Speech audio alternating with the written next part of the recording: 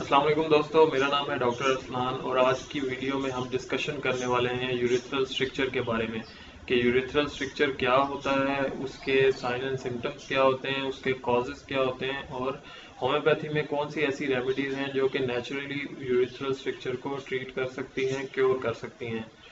سب سے پہلے ہم جانتے ہیں کہ یوریتھرل سٹرکچر کیا ہوتا ہے۔ یوریتھرل سٹرکچر جو ہے وہ آپ کی پیشاب کی نالی جو بلیڈر سے لے کے ٹپ آف دا پینس تک آتی ہے یعنی کہ یورین کو لے کے آتی ہے تاکہ وہ آپ کے باڈی سے اس کو ایکسکریٹ کر سکے، باہر نکال سکے۔ اس کے اندر جو نیرونیس یا سکڑن جو پائی جاتی ہے، اس کو یوریتھرل سٹرکچر کہتے ہیں۔ ایلوپیتھک موڈ آف ٹریٹمنٹ یعنی کہ کنونشنل موڈ آف ٹریٹمنٹ میں اس کا پرماننٹ کیور نہیں ہے۔ وہ یوریتھرل سٹرکچر کو ڈائلیٹ کر دیتے ہیں یعنی کہ تھوڑا سا اس کو وائڈ کر دیتے ہیں اوپن کر دیتے ہیں پیشاب کی نالی کو۔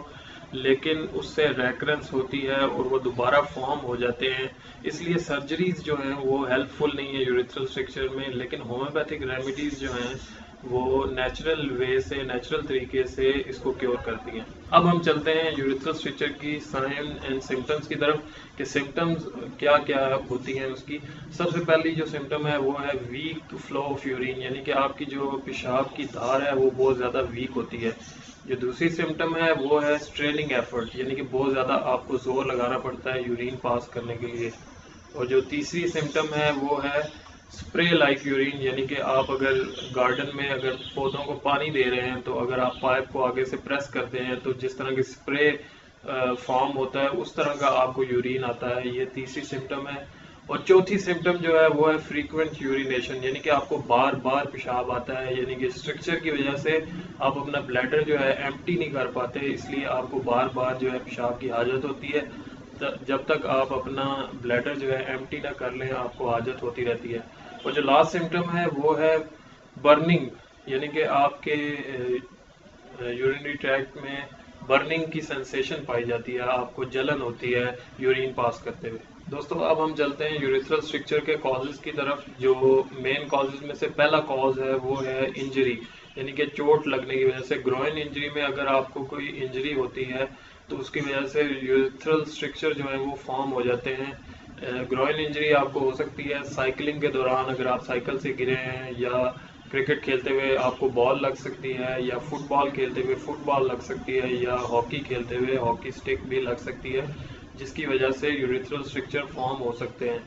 جو نیکسٹ کاز ہے وہ ہے یوریتھرل مینیپولیشن یعنی کہ آپ کے اگر یوریتھرا کو مینیپولیٹ کیا جائے یوز آف یوریتھرل انسٹرومنٹ کیے جائیں، جیسے کہ کیتھیٹر جو ہے وہ یوز کیا جاتا ہے، یا پروسٹیٹ کی سرجری میں بھی کیتھیٹر یوز کیا جاتا ہے، تب بھی آپ کے یوریتھرل اسٹرکچر فارم ہونے کے بہت زیادہ چانسز ہیں۔ جو تھرڈ ریزن ہے وہ ہے کڈنی سٹونز یعنی کہ کڈنی سٹونز جو ہیں وہ جب شاپ کے راستے نکلتے ہیں تو کئی بار وہ بھی انجری کا باعث بن جاتے ہیں اور اس کی وجہ سے بھی آپ کو یوریتھرل اسٹرکچر فارم ہو سکتے ہیں۔ جو فورتھ ریزن ہے وہ ہے ریکرنٹ انفیکشنز یعنی کہ یوریتھرل انفیکشنز جن میں U T I urinary tract infection جو کہ بار بار اگر آپ کو ہو تو تب بھی یوریتھرل اسٹرکچر فارم ہو سکتے ہیں اور اس میں گنوریا جیسی جو سیکچولی ٹرانسمیٹڈ ڈیزیز ہے، اس کی وجہ سے بھی یوریتھرل اسٹرکچر فارم ہو سکتے ہیں۔ اب ہم دیکھتے ہیں کہ کون کون لوگ ہیں جو کہ رسک پہ ہیں کہ وہ یوریتھرل اسٹرکچر فارم ہو جائے ان میں۔ سب سے پہلے جو رسک ہے وہ ہے یو ٹی آئی۔ اگر آپ کو یورینری ٹریک انفیکشن بار بار ہو رہے ہیں یا ریسنٹلی آپ کو یورینری ٹریک انفیکشن ہوا ہے، تو بہت زیادہ چانسز ہیں کہ یوریتھرل اسٹرکچر فارم ہو جائے۔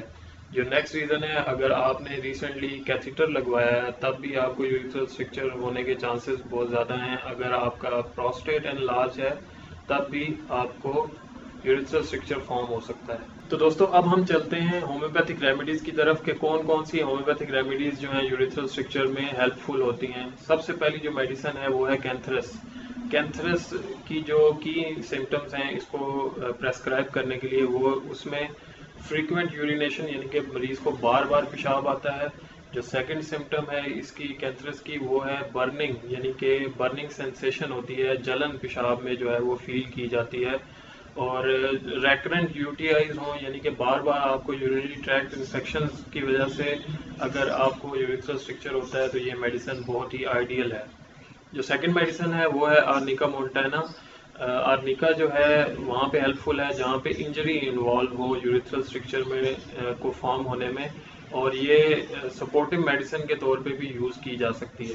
جو نیکسٹ میڈیسن ہے یوریتھرل اسٹرکچر کے لیے وہ ہے چیما فلا چیما فلا میں جو مین سمٹم ہے کی سمٹم ہے، وہ ہے زور۔ یعنی کہ پیشاب کرتے وقت بہت زیادہ مریض کو زور لگانا پڑتا ہے۔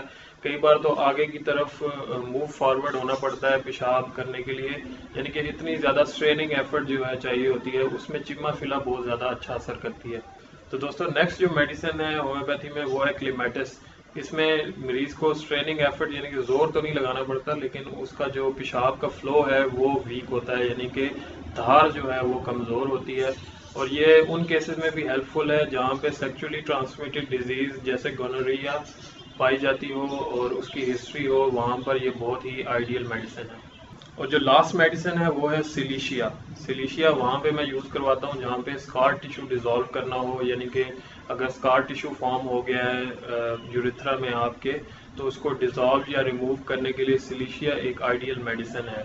تو دوستو، یہ تھی آج کی ڈسکشن ہماری یوریتھرل اسٹرکچر کے اوپر۔ اگر آپ کو میری ویڈیو پسند آئی تو اس کو لائک کریں شیئر کریں اور میرے چینل کو سبسکرائب کریں۔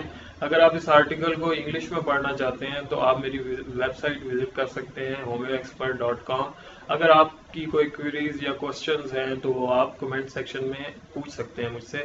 میں کوشش کروں گا آپ کو as soon as possible reply کروں ان کا.